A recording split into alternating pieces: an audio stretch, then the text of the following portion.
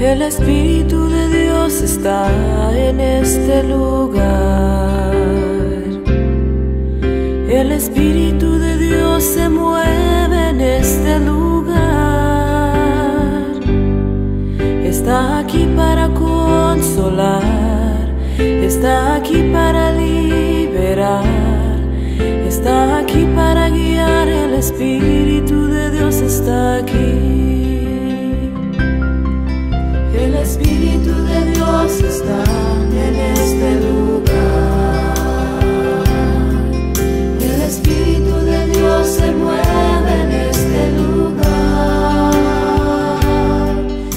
Hola, hermanas y hermanos televidentes de Extra Plus, reciban como todos los domingos nuestro saludo de amor y paz en Cristo Jesús.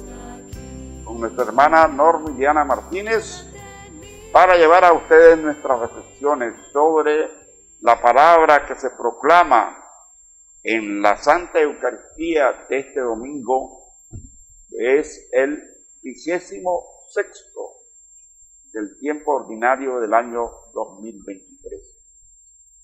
Comenzamos levantando nuestras manos al cielo para darle gracias a nuestro Padre Celestial por su amor, por su misericordia, por su fidelidad, que nos permite estar aquí con ustedes domingo a domingo. Yo le pido perdón por mis fallas, por mis debilidades y por mis pecados. Y le pido la ayuda de su Santo Espíritu para renovarme y caminar recto cumpliendo su palabra. También le pido que nos acompañe su Santo Espíritu en este programa para darnos una palabra que lleve luz, ayuda a nuestras hermanas y nuestros hermanos creyentes. Lo pido en el nombre de Jesucristo, nuestro Señor y Redentor. Amén, amén, amén. Amén. Entonces, Manuel, ¿cómo has estado? Bien, Miriam. Dichosamente, bien. Dichosamente ya me recuperé totalmente de, de mis de mis problemas del estómago y de, y de mi catarro. Pues. Estoy recuperado plenamente. Bárbaro. ¿Se te ve? ¿Se Estoy cuidándome mucho. Pues. Sí, y se te nota que estás bien. Se te nota en la cara. Bueno, llegamos al domingo vigésimo sexto el número 26 del tiempo ordinario. Y tenemos la primera lectura del profeta Ezequiel, capítulo 18, versículo del 25 al 28. El salmo responsorial es el 24. La segunda lectura es del apóstol San Pablo a los filipenses, capítulo 2, versículo del 1 al 11. Y el Santo Evangelio es según San Mateo, capítulo 21, versículo del 28 al 32. Esas son todas las lecturas para este domingo, número 26 del tiempo ordinario. Entonces comenzamos con la primera lectura.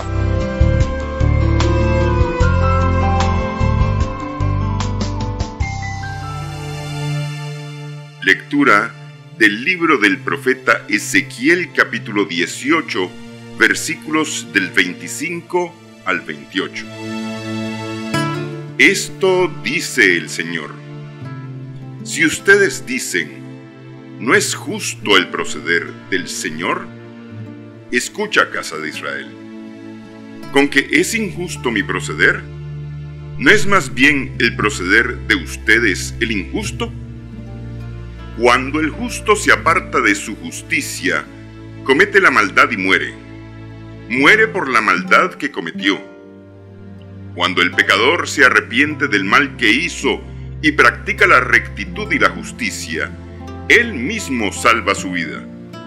Si recapacita y se aparta de los delitos cometidos, ciertamente vivirá y no morirá. Palabra de Dios. Te, alabamos, Señor. el profeta Ezequiel. Bueno, aquí me recuerda, Normiliana, esta lectura del Evangelio de, de los trabajadores de la viña, que le dijeron al, al dueño de la viña que, que, no era, que no era justo, no le estaba pagando los costos. Aquí te pregunta Ezequiel que si es injusto el Señor, o que si somos nosotros los que procedemos, los que actuamos injustamente. Y bueno, el profeta Ezequiel nos hace un planteamiento clarísimo, clarísimo y es importante que nuestros hermanos lo entiendan.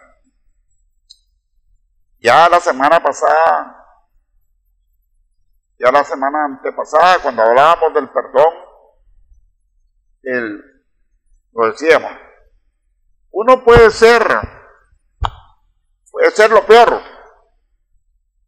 Claro que si uno no es lo peor y es, y es justo, si es un siervo fiel al Señor, mucho mejor, pues, pero uno puede ser lo lo peor. Pero si uno se arrepiente y comienza a actuar con amor y con justicia, bueno, el Señor que es misericordia eterna, me está esperando para perdonarme y para guiarme hacia el camino de la salvación.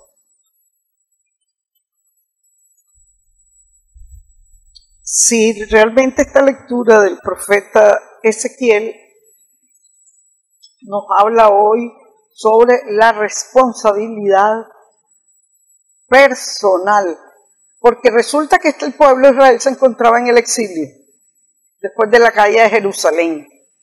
Y en el exilio el pueblo de Israel maquinaba y maquinaba, pero ¿por qué culpa estamos pagando aquí? ¿Cuál es el castigo? De todo, será todos los pecados, de todas las, todas las arbitrariedades cometidas por nuestros antepasados, decía. Eso no es justo, decía, que nosotros lo estemos pagando ahora, todo lo que cometieron nuestros antepasados. Y no es justo que creemos que el Señor está siendo injusto, porque este castigo, este castigo es más, el castigo es muy, muy grande. Dice el castigo que la culpa es más grande que la culpa. Así lo sentían porque estaban desesperados, estaban, pero aquí queda muy claro. Y esto es muy atinado, porque hoy por hoy todo mundo, nos, mucha gente se pregunta, pero ¿por qué Dios es castigador? ¿Por qué tal cosa? ¿Y por qué me pasa esto? ¿Y por qué lo otro? ¿Y por qué? ¿Y por qué de todo? Aquí ya queda bien claro y vienen concatenadas todas las lecturas de los domingos pasados, por lo menos tres domingos atrás, la corrección fraterna, después se habla del perdón, después se habla de la gracia que se recibe con el pago del denario, el mismo denario a todos los jornaleros. Viene muy concatenado, muy concatenado al proceder de nosotros, el ser humano, a la convivencia del ser humano, concatenado ahora de que la responsabilidad personal no hay, no hay, Dios no es castigador jamás, y no puede serlo, pues, porque es un Dios de amor, y el que es amor, solo amor sabe dar. Entonces no puede ser un Dios castigador. Y por eso es que ahora dice, por, e, dice aquí la lectura y explica, cuando el justo deja bien clara la responsabilidad personal, cuando el justo se aparta, se aparta, dice, de su justicia, y comete maldad, muere y se condena. Yo era buena y ahora era mala y me quedé ahí en el punto de mala, me condeno, muero y me condeno. Y, y viceversa. Cuando el que era malo o injusto se aparta de lo malo, el malvado y se convierte de la maldad que hizo y practica el derecho y la justicia, él mismo salva su vida, él mismo. Esa es la responsabilidad personal. O sea, en otras palabras, hermanos, la salvación es personal. Es personal. Es cierto, somos seres relacionados, vivimos en sociedad eh, y, y nos relacionamos y vivimos en comunidad, vivimos en sociedad y nos solidarizamos. Pero la salvación es personal y somos juzgados en la dimensión del amor, pero que aunque es personal, somos juzgados por nuestra obras y nuestro testimonio de vida que hicimos, cuánto amor le dimos al prójimo. Somos juzgados nuestra responsabilidad personal vista desde el prójimo, desde el amor al prójimo. Pero esa es nuestra responsabilidad, amar al prójimo. Esa es nuestra responsabilidad personal, amar al prójimo. Y desde ahí, de la dimensión del amor, seremos juzgados. Seremos juzgados. ¿Cuánto amor le diste a tu prójimo, a tu familia, a tu entorno, al, al indigente, al que te salió allí? ¿Le diste de comer al que estaba hambriento? ¿Le diste de beber? Ese era yo, dice un evangelio. El Señor, si le diste comer, me diste comer a mí, me vestiste, estaba desnudo y me vestiste, eso a mí, desde esa dimensión. Pero esa es nuestra responsabilidad primaria. Amar a Dios sobre todas las cosas y al prójimo como a ti mismo. Y en esa dimensión vamos a ser juzgados por nuestras obras y no por lo que decimos y lo que creemos y lo no. Ya lo vamos a terminar de concatenar este, este enfoque con el Evangelio, que va de la mano con el Evangelio. Pero por nosotros mismos nos condenamos. Dios no castiga, eso es lo que quiero dejar bien en claro. Él no es un Dios castigador porque Dios es amor. Y solo amor sabe dar. Solo eso hay en su corazón, solo eso nos da. Él es amor. Y no da otra cosa más que amor. Y por eso es, por ese inmenso amor y misericordia, nos da todas estas enseñanzas, todas las enseñanzas, todo, su palabra son enseñanzas, vivas enseñanzas. Cuando nos apartamos nosotros de la justicia, nos morimos y somos condenados, está claro. Si nosotros hacemos cosas buenas y nos quedamos haciendo cosas buenas, ¿cuáles son nuestras acciones buenas?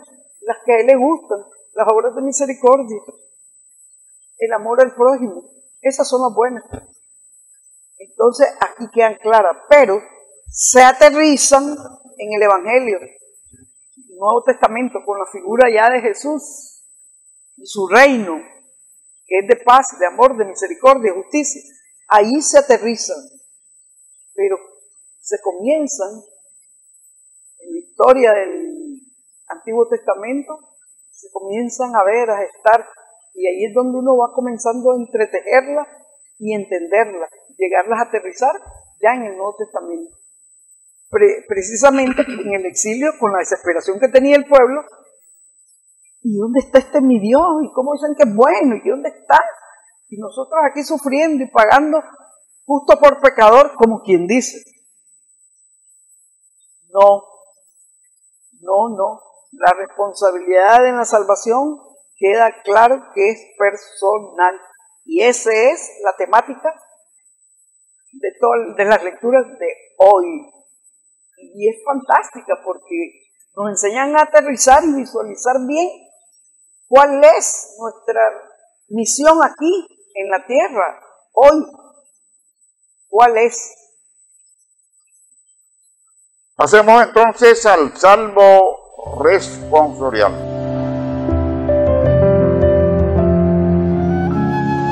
Salmo responsorial del Salmo 24.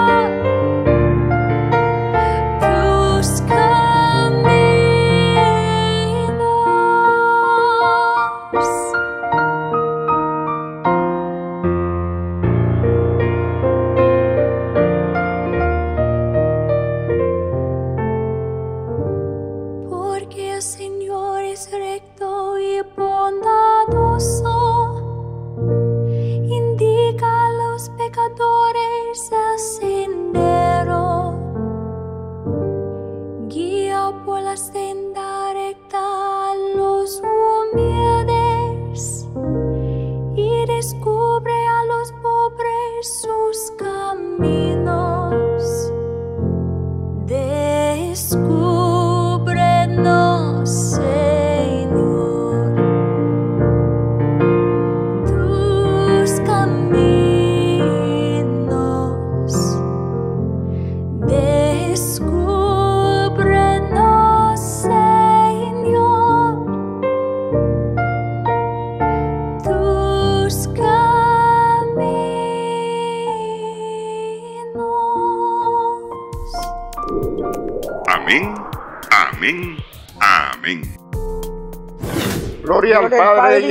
y al Espíritu, Santo, como era en el principio, ahora, y siempre, por los, siglos de los siglos. Amén. Descúbrenos, Señor, tus caminos. Este es el responsorio que escuchamos y el que tengo yo en mi versión. ¿Qué tenés, Normiana? Recuerda, Señor, que tu misericordia es eterno. Descúbrenos, Señor. Descúbrenos, Señor, tus caminos. Descubre, Señor, tus caminos. Es el Salmo 24. El Salmo 24. Entonces, yo entiendo que el salmista es un, un alguien que, que ha aceptado, ha aceptado la soberanía del amor y el poder de Dios, que cree en Dios, pero quien necesita entenderlo. Entonces, es lo que nos pasa mucho, que creemos que intelectualmente vamos a entenderlo. No. Por eso Él dice, el salmista, descubren el Señor tus caminos, porque es con la ayuda del Espíritu Santo que nosotros vamos a entender. Después el salmista describe todo lo que el Señor hace por nosotros para llevarnos por su camino. Un salmo muy, muy acorde con la lectura, la, primera lectura. Ah, sí, porque le dice el salmista, recuerda Señor que tu ternura y tu misericordia es eterna. No te acuerdes de los pecados, de las maldades de mi juventud. Acuérdate de mí con misericordia por tu bondad. Y así pasa. Él no se acuerda de los pecados antiguos de nosotros. Yo creo que ni en los presentes ni en los actuales.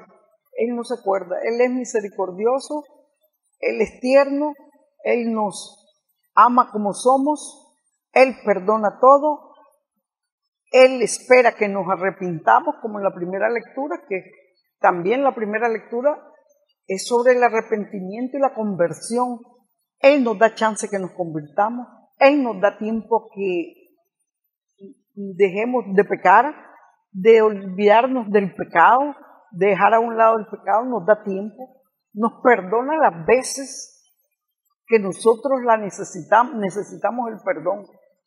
Él nos perdona. Él, esa es, hermano, su misericordia, eso es ese infinito amor sin límite que nos tiene. Esa es, y, la maravilla que es eterna. No es que hoy es misericordioso mañana no, como nosotros. Hoy somos buenos y mañana no, mañana andamos por mal camino. Pero después volvemos al redil y después volvemos y, estamos, no somos constantes, no somos constantes. Y eso es lo que nos, Él nos pide, que velemos, que seamos constantes y mantengamos ese equilibrio en la vida. Y Él, la verdad es que no se cansa de perdonarnos, no se cansa de esperarnos, no se cansa de darnos luces, de guiarnos, de, de esperarnos, no se cansa de él. El Señor es bueno y justo, sí.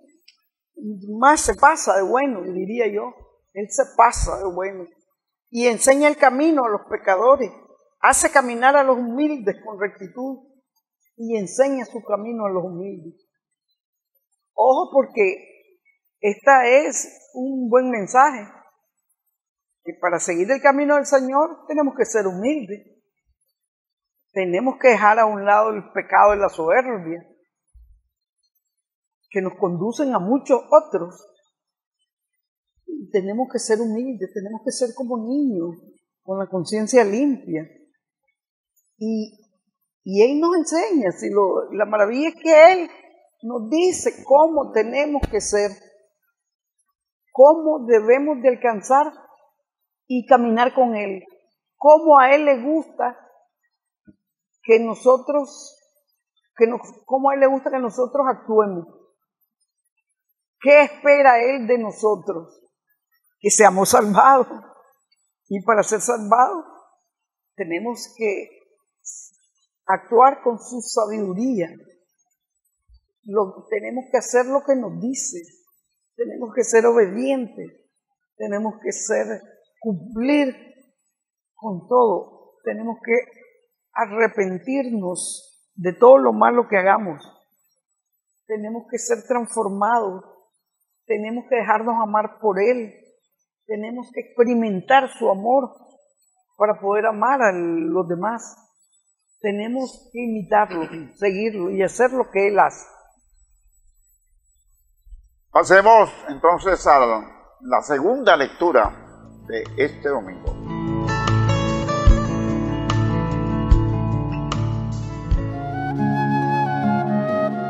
Lectura de la carta del apóstol San Pablo a los Filipenses, capítulo 2, versículos del 1 al 11. Hermanos, si alguna fuerza tiene una advertencia en nombre de Cristo, si de algo sirve una exhortación nacida del amor, si nos une el mismo espíritu y si ustedes me profesan un afecto entrañable, llénenme de alegría teniendo todos una misma manera de pensar, un mismo amor, unas mismas aspiraciones y una sola alma. Nada hagan por espíritu de rivalidad ni presunción antes bien, por humildad, cada uno considere a los demás como superiores a sí mismo y no busque su propio interés, sino el del prójimo. Tengan los mismos sentimientos que tuvo Cristo Jesús. Cristo, siendo Dios, no consideró que debía aferrarse a las prerrogativas de su condición divina, sino que por el contrario, se anonadó a sí mismo, tomando la condición de siervo, y se hizo semejante a los hombres. Así, hecho uno de ellos, se humilló a sí mismo, y por obediencia aceptó incluso la muerte y una muerte de cruz. Por eso Dios lo exaltó sobre todas las cosas, y le otorgó el nombre que está sobre todo nombre, para que al nombre de Jesús todos doblen la rodilla en el cielo, en la tierra y en los abismos, y todos reconozcan públicamente que Jesucristo es el Señor, para gloria de Dios Padre. Palabra de Dios. Te alabamos, Señor. Bueno, esta es una lectura de la carta del apóstol San Pablo a los filipenses, bellísima, bellísima, porque al final hay una cita que todo el tiempo. Yo la he tenido como, como una como una afirmación contundente de lo que es Jesucristo, Dios, que es Dios, pero que es Dios que murió como hombre para salvación de nuestros pecados. Y San Pablo comienza diciéndonos que algo que a mí me da la, impresión norbriana es como la comunión de los santos. Es decir, que en esa comunidad donde eh, los hermanos están pastoreados por San Pablo, le dice él, si ustedes me profesan un afecto espiritual, llénenme de alegría teniendo todos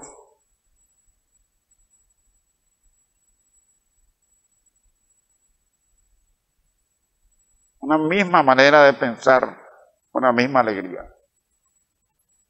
Y luego San Pablo nos recomienda cómo debemos actuar para actuar, cómo debemos de vivir en nuestra comunidad para ser realmente fieles imitadores de Jesucristo.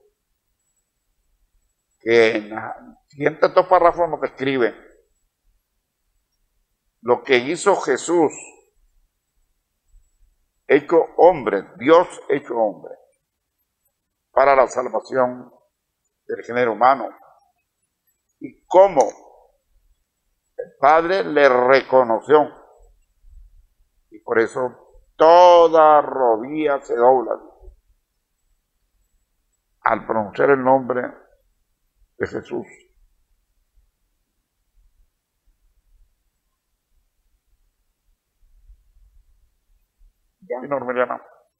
Bueno, que esta, esta comunidad de los filipenses se estaba, estaba, se estaba desquebrajando, se estaba desuniendo, se estaba desmoronando. Ese era, así se encontraba y tenía muy preocupado al apóstol Pablo. Entonces, el apóstol Pablo llega y los anima y les dice, si quieren darme el consuelo de Cristo y aliviarme con su amor, si nos une el mismo espíritu y tienen entrañas compasivas, denme esta gran alegría y le da una, unas recetas y comparte unas recetas para conseguir la conducta adecuada. Entonces le dice ahí el apóstol Pablo,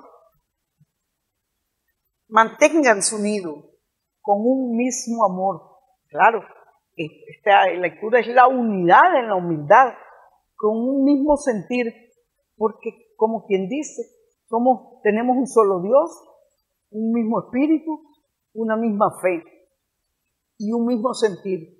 Y no obren por rivalidad ni ostentación, que es nuestra condición y nuestra naturaleza. Déjense guiar por la humildad no se consideren más que los otros, siempre consideren a los demás superiores a ustedes. No se encierren en sus intereses, sino que busquen el interés de los demás.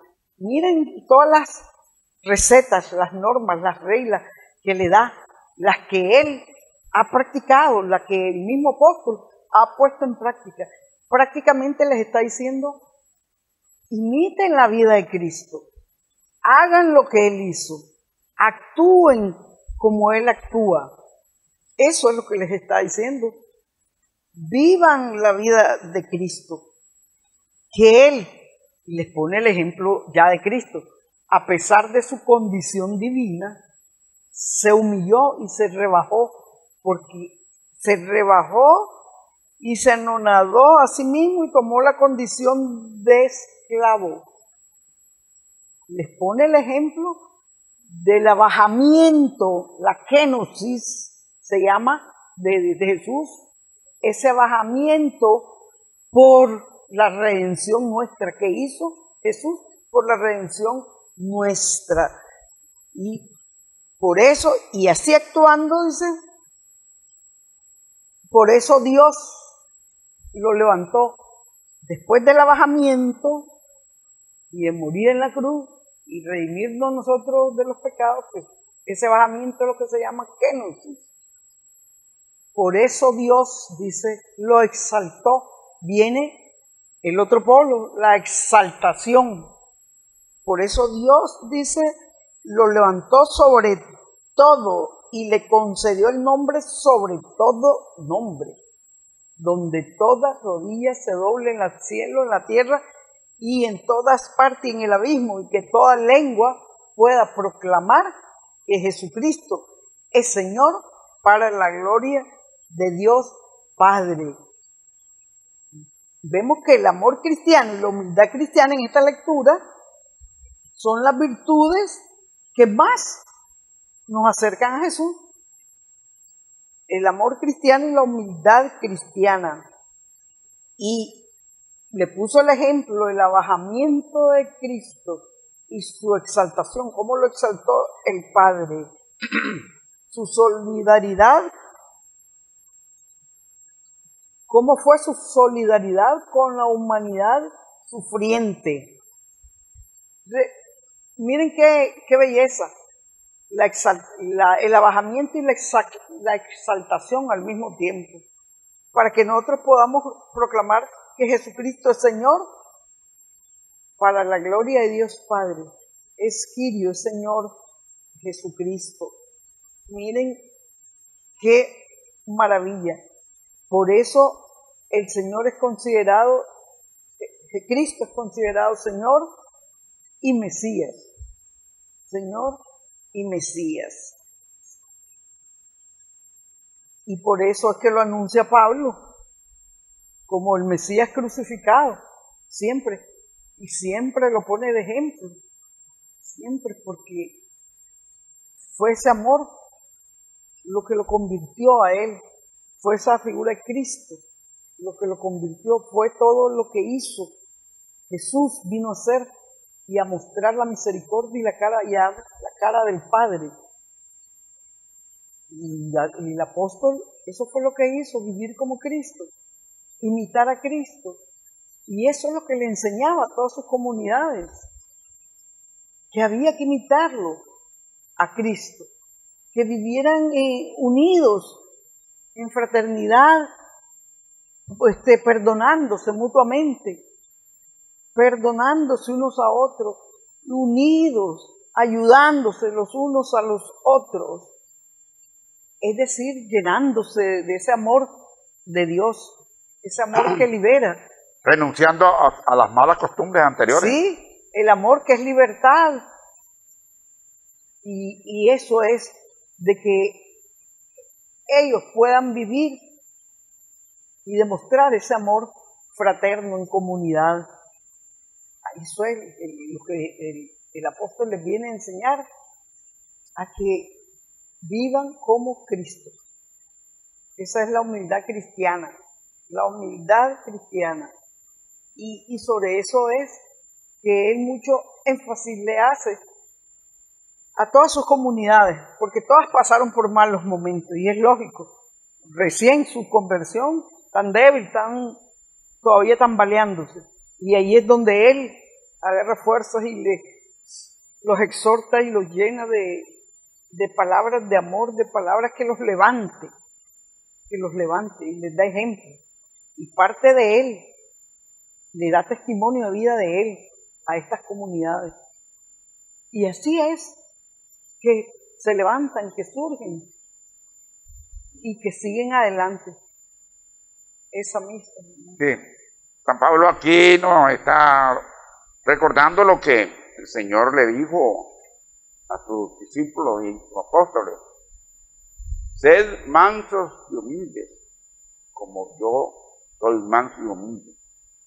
Tomen su cruz, vivan su problema, es una carga era llevadera y ligera. Sí, así, así mismo. Él lo que quiere es que vivan en armonía, no vivan en pleitos, ni en ostentaciones, ni en querer ser mejor que otros, ni creerse superiores a otros. Eso es lo que Él les enseña. Pasemos entonces a la alabanza musical de este domingo.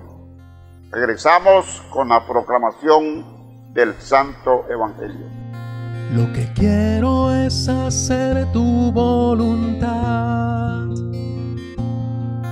y por mi fragilidad en ocasiones te diré que no quiero hacer lo que me mandas, pero tú conoces mi corazón y sabes que me arrepentiré y haré lo que me pides. paciencia conmigo. Tu obra se sigue realizando en mí. Anhelo el reino de los cielos, aunque me cueste tanto obedecer. Yo quiero hacer tu voluntad. A tu viña iré a trabajar.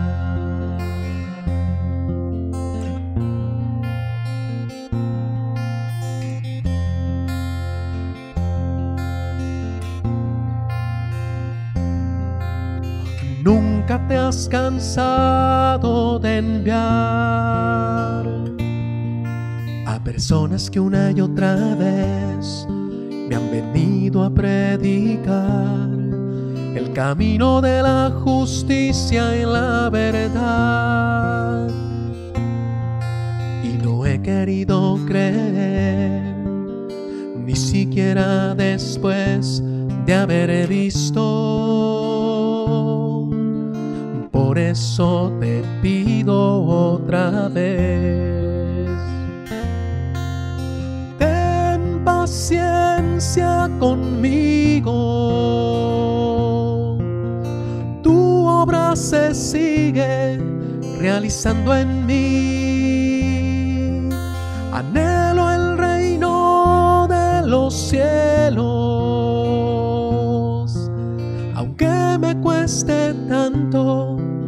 obedecer. Yo quiero hacer tu voluntad. A tu viña iré a trabajar. Yo quiero hacer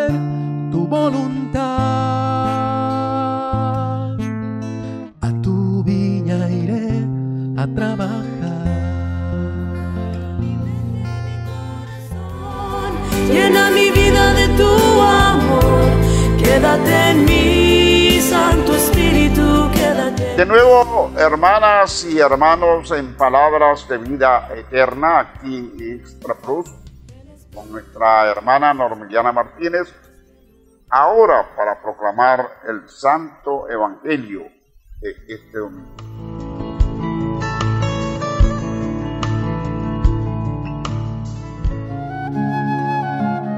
Lectura del Santo Evangelio según San Mateo capítulo 21, versículos del 28 al 32.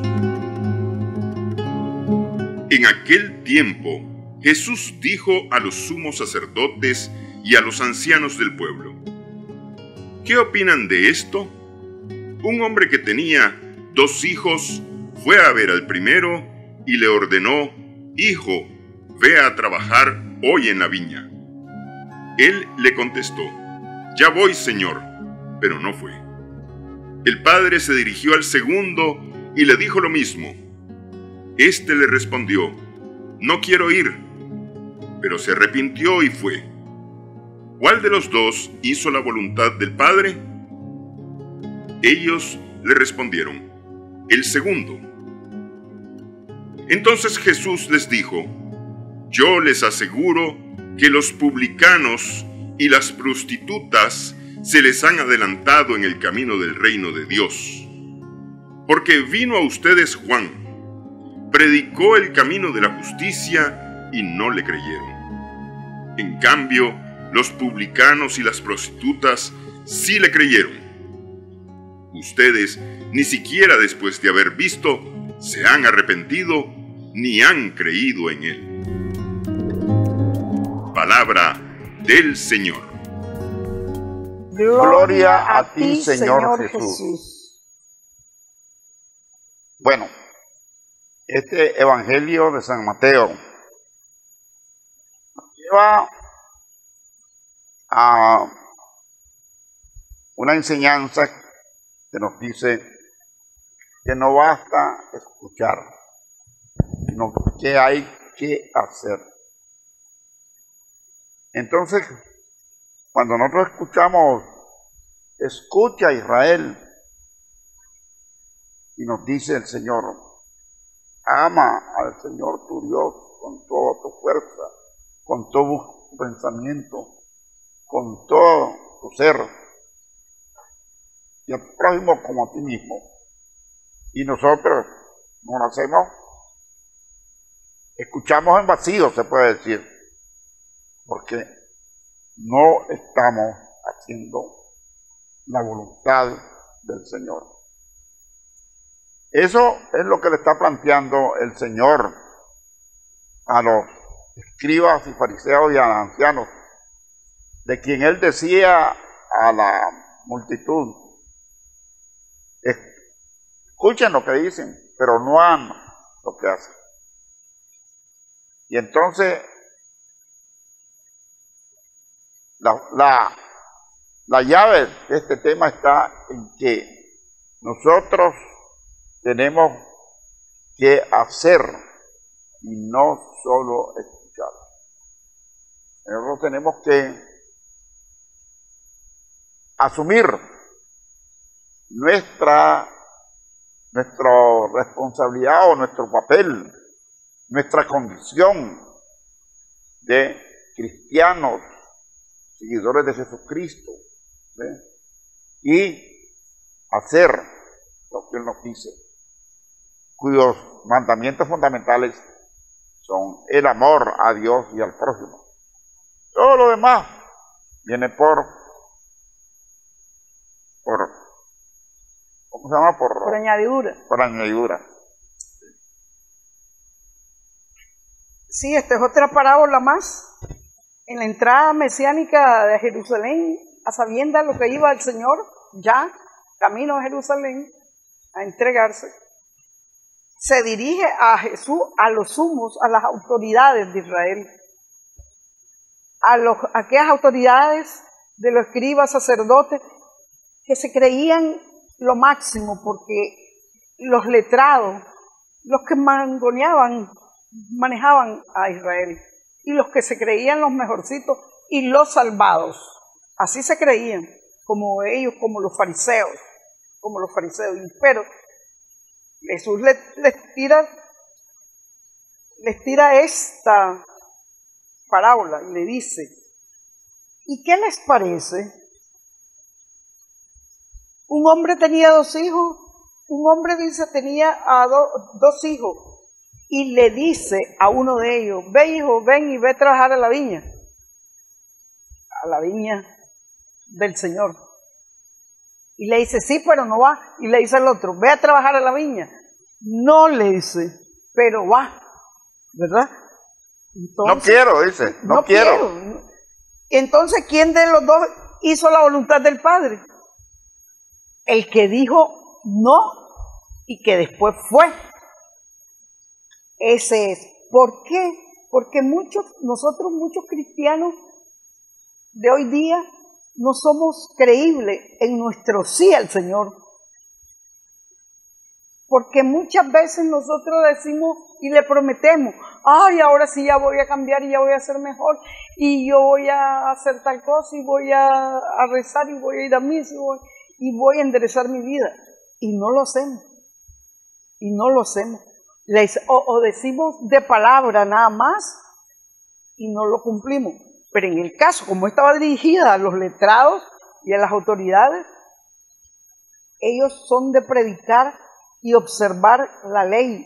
Son observantes de la ley. Observantes es cumplidores, fieles cumplidores de la ley. Observan la ley, pero no, no tienen obras de amor. No hacen obras. Y la fe sin obra no vale, no cuenta. La fe sin obras. Uno no se salva. Que diga, que yo diga tengo fe y no hago obra. Y veo a mi prójimo como cualquier cosa y no lo no amo al prójimo y no hago obras de misericordia. No me salvo. La fe sin obras no vale. Y así eran los fariseos. Predicaban la palabra, hacían, decían, pero en la vida real testimoniaban otra cosa, lo contrario. Hacían lo contrario porque nunca aceptaron al Mesías, nunca creyeron en Él, nunca aceptaron ese reino de paz, de amor, de misericordia que vino a instaurar el Mesías, el ungido de Dios, el Hijo de Dios hecho hombre. No lo creyeron, no lo practicaron, no lo hicieron vida.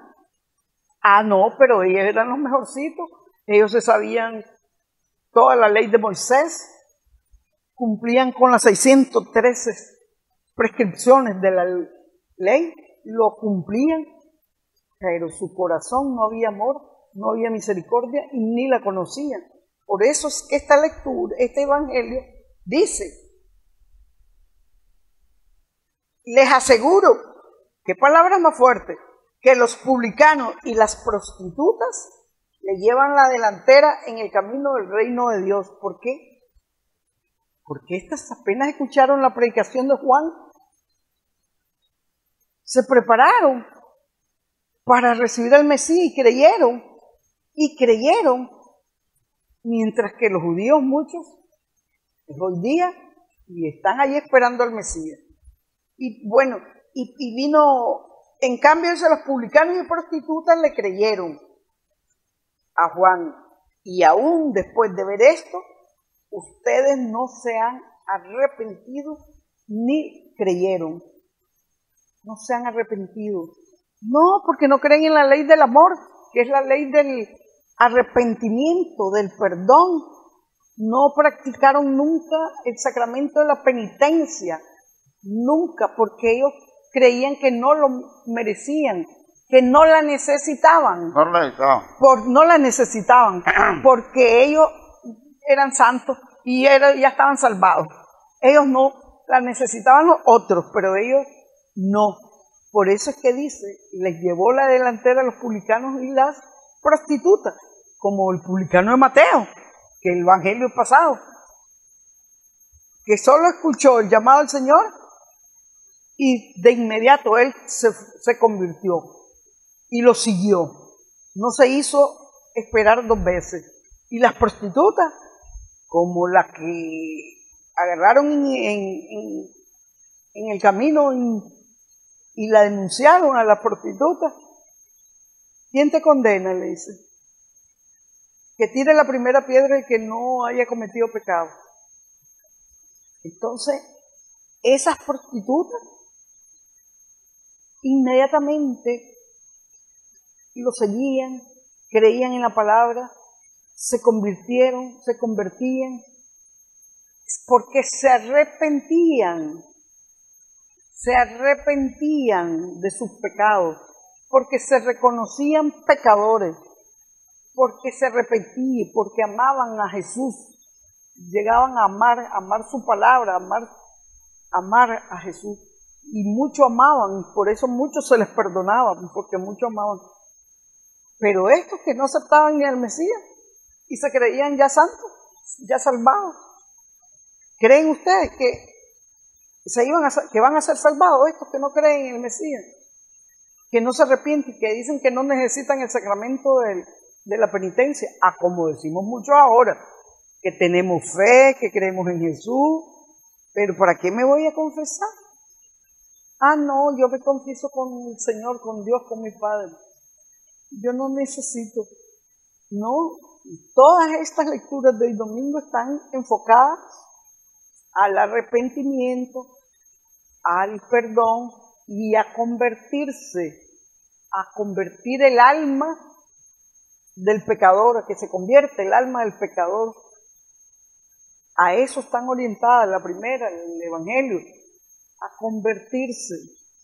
Y a convertirse haciendo lo que Él dice, como dijo María en la voz de Caná, hagan lo que Él diga, a como dijo Jesús, a como dijo el Padre en la transfiguración, escúchenme, es, este es mi Hijo amado, escúchenlo, pues eso mismo, hermano, a quien tenemos que escuchar y la única voz que tenemos que escuchar es la de Jesús, a la de Dios, a la del Padre.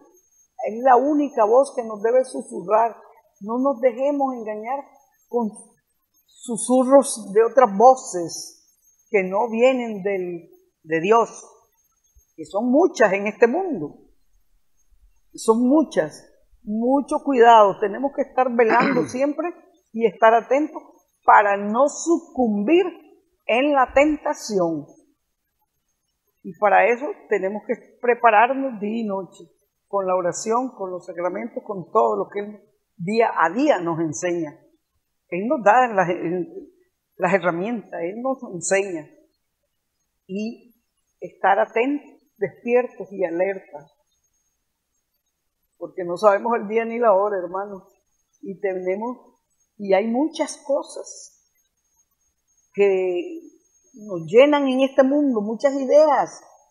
Dicen por allí, dicen una cosa, por allá la nueva era, el nuevo orden, el nuevo, la ideología de género, y hay tantas cosas, la guerra, miles de cosas que nos quieren aturdir la mente, aturdir la mente y confundir sobre todo.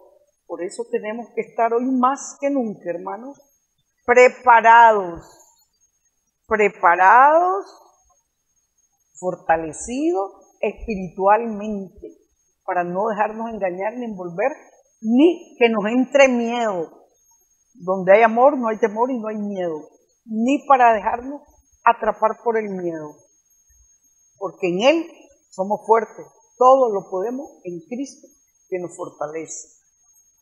Como decía Normeliana, cuando el Señor Jesús pone el ejemplo de las prostitutas y los pecadores, los vulcanos, nos está diciendo, nos está ya señalando que al escuchar nosotros nos arrepentimos.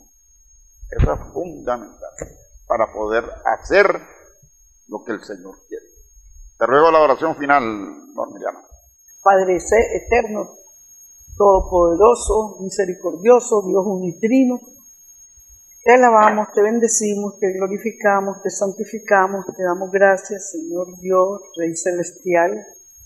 Te damos gracias porque nos revelas, todo nos revelas, todas tus enseñanzas a los humildes y sencillos de corazón, porque nos revelas todos tus misterios insondables, Señor, porque nos haces crecer en fe, nos haces, nos permite conocerte, amarte, seguirte, imitarte, Señor, porque nos permite dejarnos amar por ti y nos permite ser obedientes también por todo estas, con todas estas enseñanzas, todas estas enseñanzas de vida eterna, enseñanzas que nos hacen crecer, que nos hacen eh, arrepentirnos de la vida que, de lo malo que llevemos en nuestra vida, nos hacen llenarnos de tu amor y dejarnos llenar por la gracia, por tu gracia. Regálanos tu gracia santificante, Señor, para poder alcanzar la vida eterna, Señor, para reconocerte como nuestro Señor, nuestro Salvador, nuestro Redentor, Señor, para que un día podamos disfrutar de tu presencia, ya glorificados en la Jerusalén celeste. Gracias, Padre, por tantas enseñanzas. Te pedimos, Señor, que derrames abundantes bendiciones en este canal, en su personal y su familiar, en los hermanos televidentes y su familia, en la familia de Manuel y en mi familia, Señor, para alcanzar nuestra conversión del alma, aquí y ahora. Hoy es el tiempo propicio, Señor, para que no nos agarres infragantes, que nos agarre con las con los tinajas llenas de aceite. Llevamos este tesoro en vasijas de barro y necesitamos de ti. Sin ti no podemos nada, en ti todo lo podemos. Y a ti, Madre Santísima, te pedimos que intercedas ante tu Hijo en todas nuestras necesidades físicas, espirituales y materiales. Te pedimos por la paz del mundo, por la paz de Ucrania y Rusia. Te pedimos por la conversión de toda la humanidad. Sí, todo esto te lo pedimos en nombre de Cristo, tu Hijo, que vive y reina contigo en la unidad del Espíritu Santo por los siglos de los siglos. Amén, amén, amén. Amén, amén, amén. Gracias, hermanas y hermanos. Hasta el próximo domingo. Y Dios así lo permite. Toca mi mente, mi corazón, llena mi vida de tu amor. Quédate en mí, Santo Espíritu, quédate en mí.